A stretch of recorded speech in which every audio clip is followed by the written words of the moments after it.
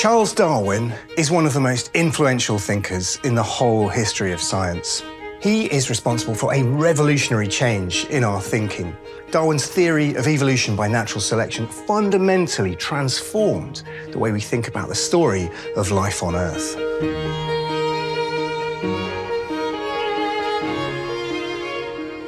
Now, this extraordinary microscope is known to have belonged to Charles Darwin himself. It's small enough to fit in his pocket, and it's a beautifully made object that is just imbued with a real personal attachment to Darwin himself. Now, I've spent a lifetime looking down microscopes and I've spent years writing about Darwin and making documentaries about Darwin. And so it's kind of magical to think that some of the most important ideas that anyone's ever had were conducted and discovered using this exact piece of equipment.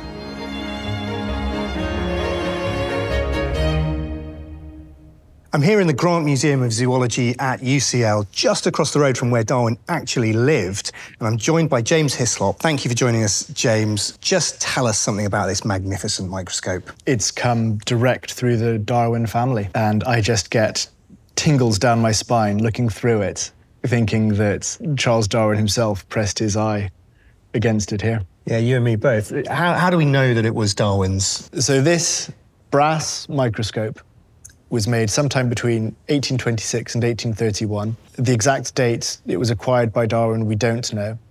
This has come from the godson and great nephew of Leonard Darwin, who was Charles Darwin's youngest son, and Charles gave it to Leonard. Here we have Leonard Darwin's monogram. All of the letters are there.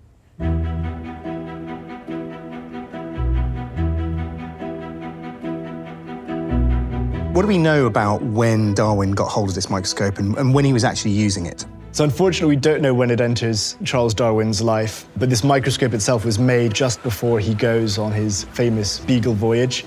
It's a portable microscope. It's exactly the right sort of size to have been taken out into the field in the 1830s. If I get my Darwin history correct, he's up in Edinburgh at this time, an undergraduate studying medicine, but this is the point where he becomes interested in, in looking at biology, at least marine biology. Yeah, absolutely. The, the magnifications achievable with this microscope are exactly what are required for looking at those zoophytes that he became so interested in.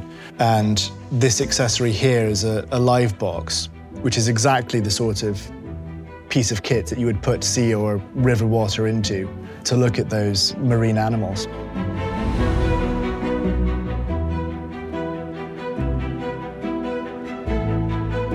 So it's quite possible that this is the first microscope that really sets Darwin on the path that ends in the origin of species. Even if he acquires it before 1831, it's probably the earliest surviving microscope associated with Charles Darwin. And there are only six that we know survive today. James, how does it feel to be so close to such an important piece of, of scientific history here? Some objects really have that ability to, to transport you back and just imagining Charles Darwin looking through this eyepiece is it's just incredible. It, it, it's truly, truly special to be in the presence of something so significant. Thank you very much, James, for uh, allowing me to look through this microscope and bringing it to us today.